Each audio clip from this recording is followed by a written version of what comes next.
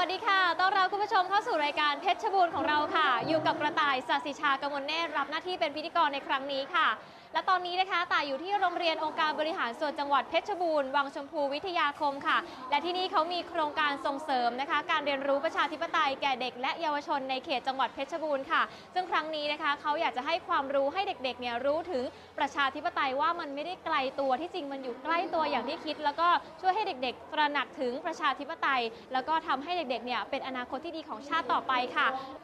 และด้านหลังของต่ายนะคะ ท่านวิทยากรนะคะเขาก็ได้มีการอบรมค่ะ ได้แบ่งน้องๆเป็นกลุ่มนะคะ เพื่อที่จะเรียนรู้ในวิชาต่างๆ แล้วก็ทำความเข้าใจเกี่ยวกับประชาธิปไตยให้มากขึ้นค่ะ แต่ว่าเดี๋ยวเราไปดูภาพบรรยากาศด้านในพร้อมๆ กันเลยค่ะ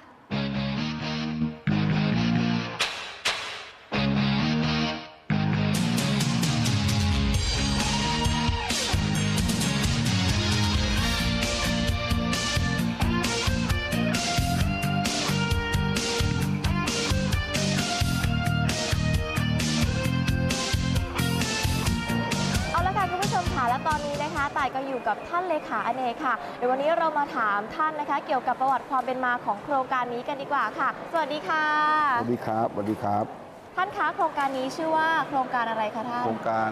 การเรียนรู้ส่งเสริมประชาธิปไตยแก่เด็กและเยาวชนของเด็กเพชรบูรณ์ครับผมครับ ค่ะเราอยากทราบถึงความเป็นมาที่จะจัดตั้งเกี่ยวกับโครงการนี้ค่ะ ให้กับเด็กครับอ่าท่านนายกอัครเดชทองใจสดนะครับท่านนายกองค์การบริหารส่วนเพชรบูรณ์ของเรานะครับ ค่ะ ได้ได้รับนโยบายนะครับ จากส่วนกลางนะครับอ่าที่ผ่านมาทางกรตจังหวัดๆค่ะให้อ่าทุกอ่าหน่วยงานอปทค่ะได้ดำเนินการได้เสริมสร้างการเรียนรู้ประชาธิปไตยแก่เด็กและเยาวชนของจังหวัดเพชรบูรณ์นะครับก็ก็เป็นนโยบายที่ท่านนายกนะครับได้มอบหมายให้อ่ากองกิจการสภานะครับค่ะให้มาดำเนินการประสานหน่วยงานที่เกี่ยวข้องค่ะเช่นสำนักงานกตจังหวัดเพชรบูรณ์แล้วก็โรงเรียนอ่าเยาวชนในจังหวัดเพชรบูรณ์ โดยค่ะที่เอานักเรียนของโรงเรียนอบจนะครับเป็นเป็นเป็นเป็นเยาวชนที่มารับการอบรมครับผมค่ะเอ่อเป็นโรงเรียนทุกโรงเรียนหรือเปล่าคะ หรือว่าในจังหวัดเพชรบูรอ่าณ์ ตอนนี้มันเป็นโครงการนำร่องนะครับ ก็จะเอาโรงเรียนอ่าของอบจนะครับมาค่ะ นะครับแล้วก็น่าจะอนาคตต่อไปน่าจะขยายผลนะครับให้ครอบคลุมทั้งอ่า 11อำเภอครับผมอ๋อ ถ้าเกิดว่าโครงการนี้ค่อนข้างดำเนินไปในทางที่ดี เราก็จะขยายผลต่อเนื่องครับผมครับ ใช่ไหมคะ ทีนี้แต่ถามถึงเอ่อเกี่ยวกับกลุ่มเป้าหมายของโรงเรียนค่ะเด็กๆ จะเป็นเด็กๆเอ่อประถมหรือมัธยม ก็จะเอาในเรื่องของของการใกล้ตัวก่อนก็คือจะเอาค่ะเริ่มต้นที่มัธยมวันนี้ เราได้มีนักเรียนมาระดับมัธยม ค่ะนะครับต้นก็คือม .3 กับม .4 ค่ะนะครับแล้วก็เราแบ่งเป็น 2 วันค่ะ นะครับวันนี้ก็คือ 241 ท่านค่ะ นะครับพรุ่งนี้อีก 200 กว่าท่านก็คือม .5 กับม .6 ค่ะ นะครับแบ่งเป็นเป็นสองกลุ่ม เพราะว่าอ่ากระบวนการการเรียนรู้ที่ทางสำนักงานกกตจังหวัดเนี่ยได้เอาวิชามาถึง 3 วิชาที่จะมาอ่าสู่กระบวนการถ่ายทอดให้กับเยาวชนกลุ่มนี้สานะคมรับวิชา ครับผมมีครับ มีมี วิชาอะไรบ้างคะอ่าอ่าเบื้องต้นก็จะมีวิชาแรกก็คือวิชาชีวิตกับการเมือง ชีวิตกับการเมืกัอบง การเมือง อุ้ยสมัยตายเรียนยังไม่มีอันนี้คือเพิ่มเข้ามาใหม่ครัจะบชีวิตกับการเมือง ครับก็คือว่าเกิดมาทุกคนตั้งแต่อ่าเกิดจนตายก็ต้องอยู่กับการเมือง อ่าครับใช่ก็ต้องมีเกี่ยวต้กับองเรื่ใช้องขออยู่งการเลือกตั้งนู่นนี่นั่นใช่ตั้งแต่ครับ ระดับเล็ก ๆ จนถึงระดับประเทศตั้งแต่ระดับท้องถิ่นถึงค่ะระดับชาติค่ะ นะครับ แล้วก็อยู่กับชีวิตต้องอยู่กับการเมืองครับผมครับค่ะ ครับแล้ววิชาที่สองวิชา ก็คือวิชาดอกไม้ประชาธิปไตย วิชาดอกไม้ประชาธิปไตย อันนี้เดี๋ยวให้ท่านช่วยช่วยขยายความถึงวิชานี้นิดนึงครัค่ะบว่ามันเกี่ยวกับอะไร จากได้รับคำคำคำบอกเล่าจากกกตนะครับ ตอนนี้เขาเปรียบเสมือนการให้เป็นต้นไม้หนึ่งต้น ค่ะ ก็คือเยาวชนที่ได้รับการที่จะได้ถ่ายทอดองค์ความรู้เนี่ยจากสำนักงานกกตจังหวัดนะครับ แต่ละส่วนแต่ละฝ่ายเนี่ยจะเปรียบเสมือนเด็กเนี่ยต้องเตรียมดิน เด็กเหมือนดินเด็กเปรียบเสมือนดินอ่าค่ะ ที่จะที่จะเตรียมที่จะไปปลูกต้นไม้หนึ่งต้น ค่ะ ที่จะผลิผลิดอกออกใบอืมผลิดอกในอนาคตนะครับ ค่ะก็คือจะมีกิ่งก้านสาขา มีการตรวจสอบเขาจะเปรียบเทียบมันให้ให้ฟังดูง่าย อืมถ้าเกิดดินดี ต้นไม้ก็จะเติบโตดี ครับผมถ้าดินไม่ดีต้นไม้ก็จะอาจจะแห้งบ้าง เหี่ยวบ้างอ่าไม่ถูก แข็งแรงบ้าง ครับก็จะมาปลูกฝังให้เยาวชนที่เปรียบเสมือนต้นเหมือนดินที่จะต้องมาเตรียมค่ะ นะครับอายุขนาด 13 14เขาเตรียมเพื่อที่จะไปเป็นค่ะผู้ใหญ่ในวันข้างหน้าค่ะ นะครับเพื่อว่าดอกไม้ประชาธิปไตยครับผมครับประมาณนั้นครับผมความหมายลึกซึ้ง อันนี้คือวิชาดอกไม้ประชาธิปไตย ฮะ ส่วนอีกหนึ่งวิชาค่ะท่าน วิถีประชาธิปไตย วิถีประชาธิปไตยครับเหมือนผม เหมือนให้สอนให้เด็กรู้ว่าประชาธิปไตยคืออะไรประมาณนี้หรือเปล่าเอ่อให้เด็กรู้ของเรื่องของศักดิ์ศรีเรื่องของวินัยอืมค่ะเมื่อสักครู่ก็เปรียบเสมือนประเทศญี่ปุ่น ค่ะที่เขามีวินัยในตัวที่โดนปลูกฝัง ค่ะเขาอยากจะให้ให้ให้ให้ให้ประชาธิปไตยเนี่ยปลูกฝังเข้าไปในใจอืมในสายเลือดค่ะของเยาวชนมาปลูกฝัง ค่ะเยาวชนกลุ่มที่จะเป็นอนาคตของชาติเนี่ย ค่ะนะครับก็จะปลูกฝังแล้วก็จะให้เข้าไปมีเรื่องของวินัย รู้ของเกียรติของตัวเอง ค่ะไม่ซื้อสิทธิ์ขายเสียง ต่อนะไปครับ ไม่โกง ครับโตไปจะไม่โกงค่ะนะครับจะต่อต้านคอร์รัปชัน corruption อะไรประมาณนี้ครับผมครับ อืม ก็จะเป็น3ามสามวิชาที่จะนำขบวนการต่างๆ แบ่งเป็นเวิร์กช็อปกลุ่มต่างค่ะ ๆ โดยได้รับการอนุเคราะห์จากสำนักงานกกตซึ่งเขาเป็นเจ้าภาพหลักในการที่จะถ่ายทอดตรงนี้ค่ะ นะครับ ก็ได้รับความอนุเคราะห์จากสำนักงานกกตครับผมครับ ค่ะ ทีนี้ทีนี้วันนี้งานที่ท่านบอกว่าจะมีอยู่ 2 วัน ครับผม อ๋อ ก็คือวันนี้จะแบ่งเป็นม 3 กับม 4 ครับ อีกสเซองตแล้วหกันึ่นงแล้วก็ม5ม6อีกเซตหนึ่ง หนึ่งครับผม ค่ะ ทีนี้พอเด็กๆรู้ว่าจะต้องเรียนใน 3 วิชานี้ค่ะ เด็กๆต้องมีการเตรียมตัวอะไรยังไงบ้างคะครับมัเบื้องเป็นต้น วิชาที่เพิ่มมาถูกต้องไหมคะ ใช่ครับมาเสริมสอนนะค่ะ มาเสริมสอนเพิ่ม เพราะว่าอ่าเยาวชนกลุ่มนี้พื้นฐานก็ได้รับประชาธิปไตยแต่ว่าในในในทางปฏิบัติเนี่ยจะได้การลึกซึ้งก็คือกกตจังหวัดได้มาดำเนินการ ได้มาเอากระบวนการต่างๆ สอนให้ได้รู้การทำปฏิบัติจริง ครับผม ค่ะ เห็นมีการทำ pre test ใช่ครับ คืออะไรคะการทำ pre test ให้เด็กๆก่อนนะคะ ใช่ครับ ก็คือเหมือนว่าเราจะได้รู้ว่าเด็กแต่ละคนมีความเข้าใจมาใช่กครัน้อยแค่ไหนฐานใช่ไหความรู้คะขนาดไหนนะครับผมครับประมาณนั้นครับผม ค่ะ ก็เลยเราทำ pre test ก่อนแล้วก็ค่อยลงฐานจริง ก็คิดว่าอ่าโครงการนี้นะครับจะทำให้เยาวชนของเราเนี่ยที่เป็นเยาวชนหลักในอนาคตเนี่ยของจังหวัดเพชรบูรณ์เนี่ยจะได้องค์ความรู้ค่ะ แล้วที่เราคาดหวังอย่างนี้ก็คือจะให้เยาวชนเหล่านี้ไปขยายผล ให้เพื่อนให้พี่ให้ครอบครัว ไปบอกต่อกันเรื่อยๆครับผมครับครับ ก็เรียกได้ว่าปลูกฝังเด็กๆตั้งแต่ก็เปรียบเสมือนดินครับผม ค่อยๆทำให้ต้นไม้เนี่ยแข็งแรงไปเรื่อยครับ แล้วก็พี่ดอกออกผลในอนาคตข้างหน้านะครับนั่นคือความคาดหวังๆความคาดหวังที่เด็กๆจะได้รับ ครับผมก็คือสามารถไปบอกต่อพ่อแม่พี่น้องเพื่อนฝูงได้ว่าประชาธิปไตยคืออะไร ใช่ครับผม แล้วก็มีความเข้าใจมากขึ้น ไม่ใช่ว่า เป็นเฉพาะวันเลือกตั้งจะได้รู้แก่นของประชาธิปไตยว่ามันคืออะไร เอาจริงๆสมัยก่อนเด็กๆ ตอนที่เราเด็กๆอะค่ะเราก็จะรู้แค่ว่าเราต้องถ้าอายุถ้า18 เราก็จะต้องเลือกตั้ง แต่ครับพอเราเห็นคุณพ่อคุณแม่เลือกเนี่ยเราก็จะแบบคนนั้นคนนี้คนนี้โดยโดยที่เราไม่รู้ว่าการเลือกตั้งที่จริงมันคืออะไรแล้วประชาธิปไตยคืออะไรครับแต่พูดนึถึกงว่าประชาธิปไตยวิชานี้ก็ดีประชาธิปไตยคือแค่เลือกตั้ง ใช่จริงๆเราโดนปลูกฝังเยาวชนเนี่ยพื้นฐานก็คือเลือกประธานโรงเรียน อ่าตั้งแต่ประธานอ่านั่นนั่นปนั่นระธานคือ นักเรียน ครับ นั่นคือพื้นฐานในการรู้จักประชาธิปไตยนะครับ ค่ะ ในการอ่าเชื่อในสิทธิ์ที่ได้รับ แต่ทีนี้วันนี้เนี่ยผมว่าส่วนใหญ่คนก็นึกว่าประชาธิปไตยคือการเลือกตั้ง ถ้าส่วนใหญ่แต่จริงๆแล้วมันมันลึกกว่านั้น ถามว่าเราส่งตัวแทนไป แล้วจะมีการตรวจสอบถึงอำนาจสูงสุดเนี่ยค่ะ ขนาดไหนมีการถอดถอนไหมสิ่งเหล่าสิ่งเหล่านี้ตอนทุกอย่างมันมันเยอะ ครับ ที่จริงแต่ว่ามันมีก็ตั้งแต่ที่ท่านบอกตั้งแต่ประธานนักเรียนแล้วแหละแต่เหมือนว่าเรายังไม่เข้าใจ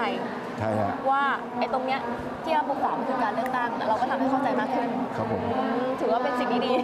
ค่ะ สุดท้ายนี้ค่ะให้ท่านเลขาฝากถึงผู้ชมค่ะเกี่ยวกับความสำคัญของประชาธิปไตยนิดนึงค่ะ ครับท่านผู้ชมครับ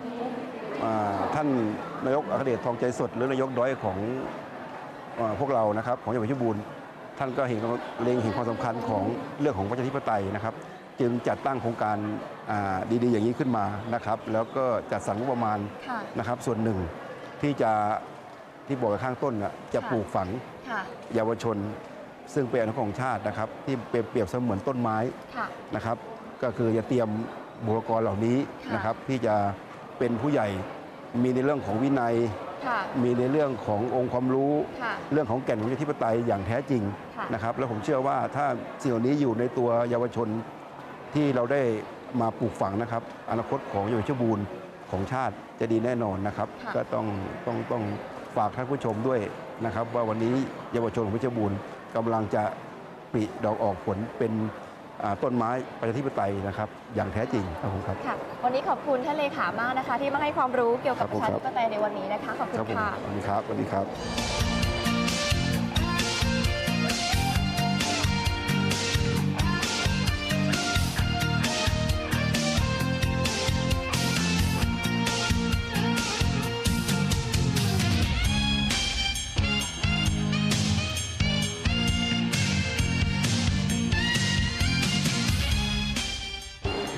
ค่ะคุณผู้ชมและตอนนี้นะคะต่ายก็อยู่กับหนึ่งในท่านคณะวิทยากรนะคะ ที่มาให้ความรู้กับน้องๆค่ะ จากสำนักงานกกตจังหวัดเพชรบูรณ์นะคะนั่นก็คือพี่แพรวสวัสดีค่ะ สวัสดีค่ะ สวัสดีค่ะยินดีค่ะ ค่ะพี่แพรววันนี้อารมณ์ดีอากาศแจ่มใสอานะกาศแจ่เช้ามใสเลยฝนตกสดชื่นสดค่ะชื่นนะคะ ที่สำคัญกลุ่มค่ะ เป้าหมายเราเป็นเด็กเยาวชนน่ารักมากค่ะอืมแล้ววันนี้เป็นกลุ่มสำคัญเป็นกลุ่มสำคัญก็คือ ตอนนี้เราเริ่มก่อนม .3 ถึงมม .3 กับม .4 ใช่ .4 ค่ะ วันนี้พี่แพรวเตรียมอะไรมาให้ความรู้กับน้องๆ บ้างคะในวันนี้ ค่ะขออนุญาตเรียนเอ่อท่านผู้ชมทราบอย่างนี้นะคะ ว่าสำนักงานกกตเนี่ยมีนโยบายในการที่จะเตรียมดินค่ะหมายถึงว่าจะเร่งให้ความรู้ในขณะที่เราอยู่ระหว่างการปฏิรูปประเทศค่ะด้วยการสร้างพลเมือง สร้างสำนึกของพลเมือง โดยเรามีหลักสูตร เรียกว่าหลักสูตรพลเมืองดีวิถีประชาธิปไตยเนี่ยนะคะทำพร้อมกันทุก ๆ จังหวัดค่ะแล้วก็กลุ่มเป้าหมายเนี่ยแล้วแต่ว่าจะเป็นผู้ใหญ่เป็นใครได้หมดเลยแม้กระทั่งถ้าเอ่อถวายความรู้ให้แก่พระพิสุสงฆ์ตอนนี้นะคะอืมก็คือค่ะ สิ่งสำคัญที่เรามองอย่างนี้ค่ะว่าท่านมองว่าเราลงเรื่องของการซื้อสิทธิ์ขายเสียงเนี่ยมันเป็นปลายเหตุค่ะ แต่สิ่งสำคัญที่เราควรจะทำก็คือว่าจะสร้างคนอย่างไรปลูกฝังทัศนคติ หรือค่านิยมที่เป็นวิถีประชาธิปไตยที่ดีอย่างไรค่ะให้กับคนในประเทศให้มากที่สุด เพื่อจะได้เป็นบุคคลที่มีคุณภาพค่ะเป็นคนที่มีคุณธรรมจริยธรรมเป็นคนที่มีจิตสำนึกสาธารณะค่ะเห็นประโยชน์ของส่วนรวมการอยู่กันอย่างวิถีประชาธิปไตยมันจะมีเงื่อนไขที่หลากหลาย แต่ต้องเคารพกฎกติกาเคารพกฎหมาย มีจิตสำนึกของความรับผิดชอบค่ะสำนึกของพลเมืองที่จะออกมาทำงานเพื่อบ้านเมืองค่ะว่าเราจะไม่ปล่อยให้เป็นหน้าที่ของใครคนใดคนหนึ่ง แต่ตัวเราเองล่ะ เราทำอะไรที่จะรับผิดชอบทั้งตัวเอง และต่อสังคมและสิ่งอื่นๆที่เป็นเป็นผลประโยชน์ของพวกเราเอง เป็นการปลูกฝังเขาเรียกว่าแก้ปัญหาตั้งแต่ต้นตั้งเหแต่ตุต้นเหตุก็คือสร้างคนที่เห็นความสำคัญของการมีที่จะอยู่ร่วมกันอย่างประชาธิปไตยที่ถูกต้องประชาธิปไตยไม่แค่การเลือกตั้งอย่างเดียว ไม่ใช่ใช่แค่การเลือกตั้งอย่างเดียว ค่ะแต่หมายถึงเอ่อวิถีที่เราจะอยู่กันอย่างคนหมู่มาก แต่มีกฎเงื่อนในไขการอยู่ด้วยกันถูต้องอ่ามีจิตสำนึกค่ะของการที่จะเราจิตอาสาไม่พอแล้วแต่ต้องมีจิตสำนึกสาธารณะค่ะที่ต้องช่วยร่วมกันแก้ปัญหา และร่วมกันจัดสรรผลประโยชน์ และร่วมกันตรวจสอบการใช้อำนาจของรัฐ ที่เรามอบอำนาจไปให้ทำหน้าที่แทน ดคุณภาพในทุกๆอย่าง เพราะฉะนั้นเนี่ยนะคะการสร้างพลเมืองจึงเป็นเรื่องที่เราจะต้องเรียนรู้กันอย่างหลักสูตรง่ายๆ อย่างวันเนี้ยค่ะ จะประกอบไปด้วยวิชาเอ่อชีวิตกับบ้านเมืองค่ะได้เรียนรู้ของสถานการณ์บ้านเมืองจะเห็นคำตอบว่า ตั้งแต่เช้าตื่นนอนกระทั่งเข้านอน เราชีวิตเราเกี่ยวข้องกับการเมืองอยู่ตลอดเวลา เพราะเราเสียภาษีตลอดเวลาอ๋ออั นนี้เราไม่รู้เลยนะคะว่าใช่ค่ะว่าเราเนี่ยใช้ชีวิตกับการเมืองตลอดจะบอกว่าการเมืองเป็นเรื่องนักการเมืองไม่ใช่อะใช่ค่ะคือคือเข้าใจว่ามันคือการเลือกตั้งมันคือสสมันคือสวมันคือใช่กำนันอบตแค่นั้นไม่อุ๊ยค่ะจริงเหรอคะค่ะเพราะเราต้องใช้สินค้านะคะกินอาหารอุปโภคบริโภคเครื่องทุกอย่างที่เราจ่ายน้ำประปาไฟฟ้าทุกอย่างมีภาษีแทรกซ่อนอยู่ตลอด ภาษีเราอนี้ยู่กับภาษีแต่ตื่นนอนแล้วใช่ค่ะหลับหลับเนี่ยตู้เย็นยังทำงานอยู่เลยเนาะ ยังกินไปอยู่เลยใช่ ค่ะเพราะฉะนั้นถามว่าเงินงบประมาณที่มาจากภาษีค่ะภาษีทางอ้อมที่เราเสียเนี่ยเยอะมาก ก็เอามาเป็นงบประมาณจัดสรรงบประมาณบอกว่าเงินหลวงค่ะ มันคือเงินของพวกเราทุกคน ทีนี้เราไม่สามารถจะประชุมพร้อมกันทั้ง 65 ล้านคนได้ แต่เราค่ะ เลือกผู้แทนเข้าไปทำหน้าที่แทน พอผู้แทนทำหน้าที่เราแทนเราบางส่วนเนี่ยเราก็ต้องตามถามเขาว่า ทำประโยชน์ครบหรือยังอาสาเข้ามาทำหน้าที่แล้วเนี่ยได้ดูแลเอาเงินจัดสรรงบประมาณเนี่ยมาเป็นธรรมหรือยังอ ตรงนี้แหละค่ะที่บอกว่าค่ะ การเมืองไม่ใช่เรื่องของใคร แต่เป็นเรื่องของเราทุกคน การเมืองใกล้ตัวมากปกติแน่นอนเราคิดว่าการเมืองคือสิ่งที่มันไกลตัวอุ้ยไม่เราใช่ เราไม่อยากยุ่งเราไม่อยากจะรับฟังอุ้ยมันเครียด ใช่ไม่ใช่ อ๋อแต่จริงเป็นเรื่องของเราไม่ใช่บุญบันดาล ค่ะไม่ใช่ฟ้าประทานค่ะยกตัวอย่างง่ายๆทำไมบางประเทศอย่างฝรั่งที่เขาเกษียณแล้วมาอยู่บ้านเราเนี่ยเขามีเงินรายได้เต็มเดือนอ่าใช่เพราะว่ามันมาจากการจัดสรรผลประโยชน์ว่าเขาเขาเข้าสู่ระบบภาษี จัดเก็บภาษีอย่างเต็มเม็ดเต็มหน่วย เราก็มาดูแลสวัสดิการให้กับประชาชนของเขาทุกคนได้ บ้านเราจึงบอกได้เลยว่าไม่ใช่บุญบันดาลค่ะ แต่เป็นเรื่องการจัดสรรผลประโยชน์ของผู้บริหารที่เราเลือกเข้าไปทำหน้าที่แทน ค่ะ เพราะฉะนั้นนี่วิชาแรกนะ องเป็นเรื่องของพวกเรา แต่ว่าให้ทำให้เด็กๆรู้ถึงเรื่องภาษีก็ดีนะใช่คะค่ะว่ารู้ปัจจุบันคนโตอย่างเราเนี่ใช่ยค่ะ ก็ยังเข้าใจไม่ครบถ้วนเข้าใจไม่ไม่ค่อยเยอะเท่าไหร่ ใช่ค่ะ น้องก็มีส่วนเพราะเขาต้องใช้สินค้าและบริการทุกค่ะ คนเสียเหมือนกันหมดเลยค่ะ เนี่ยค่ะนี่คือเรื่องแรกว่าทำไมสถานการณ์บ้านเมืองนี้ที่ต้องเรียนรู้ไปด้วยว่าเกิดอะไรขึ้น บ้านเรามีปัญหา เรื่องการทุจริตคอร์รัปชันจะออกมาทุกกระดานทั้งทุกด้านค่ะเศรษฐกิจสังคมการศึกษา หรือแม้แต่เรื่องการทุจริตครอบเลยก็มันเป็นสิ่งจำเป็นว่าเป็นเรื่องจริงที่ต้องพูดถึงและยอมรับ แต่จะทำอย่างไรที่จะแก้ไขได้จะพึ่งใครแก้ไขดีคะค่ะไม่ใช่ใครค่ะตัวเรา อ่าตัวเราอีกนี่ก็คือวิชาแรก วิชาที่สองเป็นต้นไม้ประชาธิปไตย ค่ะ เป็นการเรียนรู้ว่าประชาธิปไตยมีองค์ประกอบอะไรบ้างค่ะ นะคะตั้งแต่ประโยชน์ที่อยากได้จากประชาธิปไตย ตั้งแต่จะต้องเตรียมดินคือประชาชนอย่างไรให้เป็นคนที่มีวิถีประชาธิปไตย ค่ะ มีมีหลักการลักษณะของการปกครองระบบประชาธิปไตยที่การปกครองอื่นไม่มีค่ะนะคะมีสถาบันที่ส่งเสริมประชาธิปไตยทั้งทางตรงและทางอ้อมค่ะแล้วก็มีที่สำคัญมีกิ่งและก้านของต้นไม้เปรียบเหมือนกับระบบ หรือกลไกในการตรวจสอบการใช้อำนาจ หรือการทำหน้าที่ของสถาบันให้เป็นไปอย่างมีประสิทธิภาพ ประชาธิปไตยต้องมีการตรวจสอบด้วย เหมือนเหมือนตรวจสอบบัญชีอ่าอะไรประมาณนี้ว่าตรวจสอบบัญชีเราทำงบประมาณแล้วต้องมีการตรวจสอบการทุจริตอ่าใช่ตรวจสอบการทำงานเอ่อ ประชาชนเองก็มีทั้งไม่ว่าจะเป็นองค์กรก็ตรวจสอบได้ แต่ขณะเดียวกันประชาชนต้องไม่ลืมว่าประชาชนตัวแต่ละคนต้องมีหน้าที่ในการตรวจสอบด้วย วิชานี้ต่ายเจอมาตั้งแต่เด็กค่ะ คุณแม่ตรวจสอบอ่าใช่ค่ะใช่ค่ะ ก็ฝึกหนูมาไงตั้งแต่ในครอบครัวคุณแม่ตรวจสอบในการใช้เงินยกตัวอย่างครอบครัวคือสถาบันที่จะจะฝึกฝนเรื่องของประชาธิปไตย ท่านบอกว่าไม่มียีนประชาธิปไตยที่ติดตัวมาตั้งแต่เกิด แต่เป็นการปลูกฝังเรื่องวิถีนะคะ การฟังเหตุและผลการ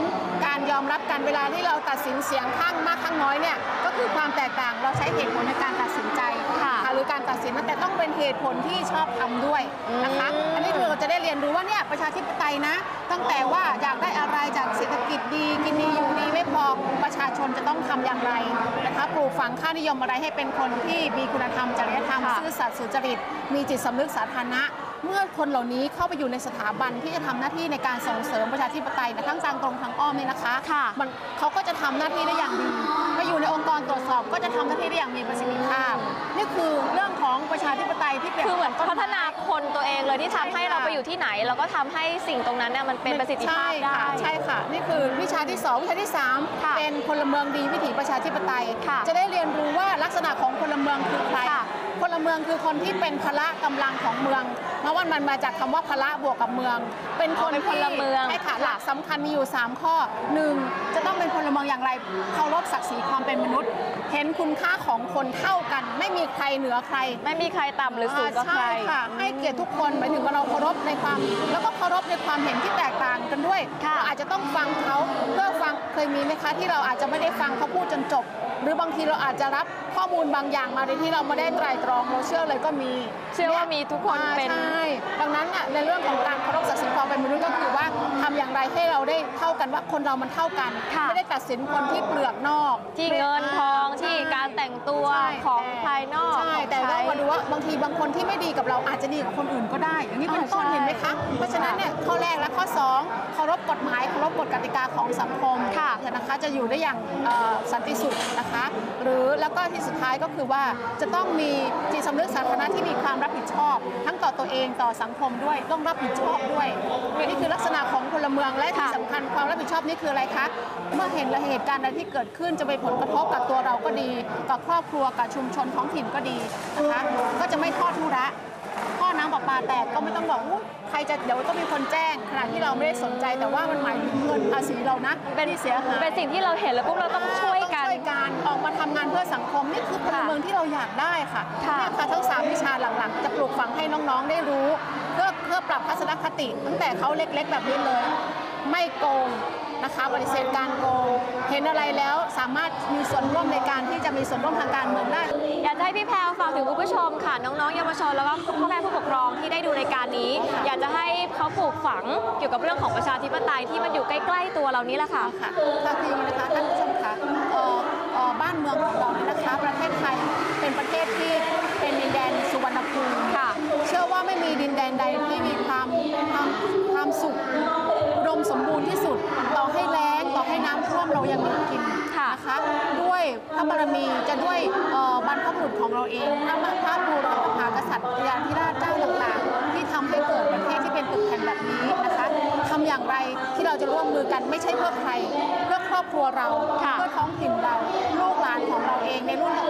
ได้ใช้ทรัพยากรอย่างมีคุณภาพ แต่ขณะเดียวกันเราต้องมีส่วนร่วมในการที่จะทำหน้าที่ของเราทุกอย่างให้ดีที่สุดลำพังหน้าที่ของเราก็เหนื่อยแล้วค่ะค่ะทำอย่างไรว่าหน้าที่ที่เราทำนะคะ จะเป็นประโยชน์ให้กับคนในครอบครัว ในเครือข่าย ในชุมชนท้องถิ่นไม่เอามากค่ะค่ะแต่จะปลูกฝังความมีวิถีประชาธิปไตยก็คือว่าเราเคารพศักดิ์ศรีความเป็นมนุษย์ยังไม่พอ เราต้องเคารพกฎหมายเคารพ กฎกติกาของสังคม และมีส่วนร่วมที่จะต้องรับผิดชอบมีจิตสำนึกสาธารณะเอาแค่นี้ไม่เยอะค่ะและไม่ยากคุณพ่อคุณแม่ก็ปลูกฝังเด็กๆ ให้รู้จักปฏิเสธเรื่องการโกงเห็นเอ่อประโยชน์ของไม่รับสินบนใช่ค่ะอืมมีคุณธรรมจริยธรรมค่ะเรียกว่ามีค่านิยม 12 ประการยังได้เลยอ่าใช่ใช่ครบถ้วนบริบูรณ์นะคะเอาแล้วก็เขาสามารถจะเติบโตโดยที่มีศักยภาพทำงานอะไรเขาก็ทำได้ไปอยู่ในองค์กรใดก็เป็นบุคลากรที่มีคุณภาพนะคะแล้วงานทุกอย่างก็จะออกมาเป็นประโยชน์กับทุกคน และเป็นที่ยอมรับเราก็จะอยู่อย่างเอ่อเท่าทันอารยประเทศอย่างนี้เป็นต้นค่ะค่ะ แล้วก็ขอความร่วมมือจากท่านผู้ชมนะคะไม่ยากค่ะทำได้ ได้ค่ะวันนี้ขอบคุณพี่แพรวมากนะคะอุ้ยได้ความรู้เยอะแยะมากมายเลย เป็นความรู้ง่ายๆที่มันอยู่ใกล้ตัวที่เราสามารถทำได้ด้วยตัวเอง เริ่มจากเราได้ค่ะ ค่ะ คุณผู้ชมค่ะและตอนนี้นะคะต่ายอยู่กับอาจารย์นันพัฒน์บุญยอดค่ะ รองผู้อำนวยการโรงเรียนองค์การบริหารส่วนจังหวัดเพชรบูรณ์วังชมพูพิทยาคม สวัสดีค่ะสวัสดีค่ะค่ะ เดี๋ยวสอบถามอาจารย์นิดนึงค่ะทราบมาว่าโรงเรียนนี้นะคะ เป็นโรงเรียนนำร่องในการต่อยอดสืบเนื่องโครงการนี้ค่ะ เนื่องจากโรงเรียนนะคะ เป็นโรงเรียนในสังกัดขององค์การบริหารส่วนจังหวัดเพชรบูรณ์ค่ะ ทางองค์การบริหารส่วนจังหวัดเพชรบูรณ์เลยมอบโอกาสดีๆนะคะค่ะให้กับทางโรงเรียนของเราให้กับเด็กนักเรียนของเราค่ะค่ะค่ะก็เลยเป็นโรงเรียนในการอ่านำร่องเพื่อที่จะต่อยอดค่ะใช่ค่ะอื่น ค่ะ ก็เอ่อมาให้นักเรียนเรียนรู้เกี่ยวกับเรื่องค่ะประชาธิปไตยค่ะ พอนักเรียนในโรงเรียนเรียนรู้ เข้าใจตระหนักถึงความสำคัญในบทบาทหน้าที่ของตนเองค่ะแล้วจะสามารถนำไปเผยแพร่ความรู้เนี้ยความรู้ที่ได้รับเนี่ยไปเผยแพร่ให้กับเพื่อนๆในโรงเรียน ๆ ค่ะ รวมทั้งชุมชนค่ะ ค่ะ แล้วก็กลุ่มนักเรียนในโรงเรียนเนี่ยก็สามารถ เผยแพร่ความรู้ให้ไปยังโรงเรียนอื่น ๆ ได้ด้วย ค่ะคุณครูคิดว่ามันเป็นสิ่งที่ดีไหมคะว่าที่ทางกกตเนี่ยเล็งเห็นให้เด็กๆเนี่ยเป็นตัวแทนของชาติที่จะช่วยในเรื่องของเอ่อประชาธิปไตยโตไปไม่พ้นโกงในเรื่องของกฎระเบียบต่างๆ ของสังคม ค่ะแน่นอนเป็นสิ่งดีแน่นอนนะคะ เพราะว่าการปลูกฝัง ให้นักเรียนมีความรู้เข้าใจเรื่องค่ะประชาธิปไตยตั้งแต่วัยเด็กค่ะนะคะส่งเสริมให้นักเรียนมีบทบาท ได้แสดงออกอย่างเหมาะสมเกี่ยวกับการปกครองในระบอบประชาธิปไตยในโรงเรียน เริ่มต้นจากโรงเรียนเนี่ยค่ะอ่านักเรียนก็สามารถนำไปประยุกต์ใช้ในชีวิตประจำวัน แล้วสามารถไปเป็นผู้ใหญ่ที่ดีในอนาคตในการแสดงบทบาท หน้าที่ตามสิทธิเสรีภาพในระบอบประชาธิปไตยได้อย่างเหมาะสมด้วยค่ะค่ะ อาจารย์คิดว่าการที่ทางกกตมาจัดอบรมอย่างนี้นะคะ มีประโยชน์กับน้องๆนักเรียนค่ะมากหรือน้อยแค่ไหนคะอ๋อต้องก่อนอื่นต้องขอขอบคุณนะคะ ท่านทางองค์การบริหารส่วนจังหวัดเพชรบูรณ์นะคะที่ค่ะให้โอกาสเด็กนักเรียนของเราเนี่ยได้ร่วมกิจกรรมดีๆ ที่ทางกกตจัดขึ้นนะคะ นักเรียนได้นักเรียนเนี่ยจะได้รับความรู้นะคะเกี่ยวกับประชาธิปไตย ซึ่งนักเรียนเนี่ยกลุ่มนี้เมื่อได้ความรู้เกี่ยวกับประชาธิปไตยค่ะ ซึ่งเป็นเรื่องที่สมควรรู้แล้วก็นักเรียนต้องตระหนักแล้วก็เข้าใจในบทบาทหน้าที่ของตนเองแล้วเนี่ยนักเรียนยังต้องไปเผยแพร่ความรู้ที่ได้รับนี้ ให้กับเพื่อนนักเรียนในโรงเรียนค่ะ รวมทั้งเอ่อนำความรู้เนี้ยไปเผยแพร่กับผู้ปกครองหรือชุมชนในโรงเรียนเอ่อชุมชนด้วยค่ะ สุดท้ายนี้ค่ะอยากจะให้อาจารย์ฝากถึงท่านผู้ชมทางบ้านน้องๆนะคะห รือคุณพ่อคุณแม่ที่ดูอยู่เกี่ยวกับประชาธิปไตยค่ะ ว่าเราควรจะใช้ชีวิตอยู่กับมันว่ามันเป็นเรื่องใกล้ตัวกับมันยังไงค่ะ จริงๆ แล้วประชาธิปไตยเป็นเรื่องที่อยู่ในชีวิตประจำวันของเราอยู่แล้วค่ะนะคะเอ่ออยากให้ท่านผู้ปกครองนะคะ ช่วยกันส่งเสริมให้กับบุตรหลานของท่านเนี่ยได้มีโอกาสในการแสดงออกถึงสิทธิเสรีภาพ รวมทั้งรู้จักหน้าที่ของตนเองค่ะตามระบอบประชาธิปไตยค่ะนะคะ ซึ่งในระบอบประชาธิปไตยอะเน้นประโยชน์ของประชาชนเป็นหลัก นะคะ ถ้านักเรียนรู้จักตนเอง รู้บทบาทของตนเอง รู้บทบาทของการปฏิบัติตนในครอบครัวในโรงเรียน ในสังคม ประเทศชาติก็จะอยู่ได้อย่างสงบสุขค่ะค่ะแต่ว่ามันก็น่าจะเริ่มจากสถาบันครอบครัวนะคุณพ่อคุณแม่ควรให้ความสนใจ เริ่มจากเล็กๆก่อนแล้วครอบครัวแล้วก็มาที่โรงเรียนเพื่อน้องๆจะได้เป็นเด็กที่ดี แล้วก็เป็นอนาคตของชาติที่ดีต่อไปนะคะ วันนี้ขอบคุณอาจารย์นันทพัฒน์มากนะคะขอบคุณค่ะ แต่เชื่อว่าวันนี้นะคะน้องๆได้รับความรู้มากมายเกี่ยวกับโครงการดีๆ แบบนี้ทำให้น้องๆได้รู้ถึงประชาธิปไตยค่ะ ว่ามันเป็นสิ่งที่ใกล้ตัว มันไม่ไกลตัวเราเลยค่ะ การมีกฎระเบียบการมีวินัยที่ดี นั่นเป็นคุณสมบัติของพลเมืองที่ดี แล้วก็ของอนาคตของประเทศชาติที่ดีค่ะ ก็ต้องขอขอบคุณนะคะ องค์การบริหารส่วนจังหวัดเพชรบูรณ์ด้วยนะคะ ที่ได้สนับสนุนโครงการดีๆแบบนี้ ให้น้องๆได้ทำความเข้าใจเกี่ยวกับประชาธิปไตยมากขึ้นค่ะ แล้ววันนี้หมดเวลาของตายแล้วนะคะ เจอกันใหม่ได้ในครั้งหน้าค่ะสำหรับวันนี้ไปก่อนสวัสดีค่ะ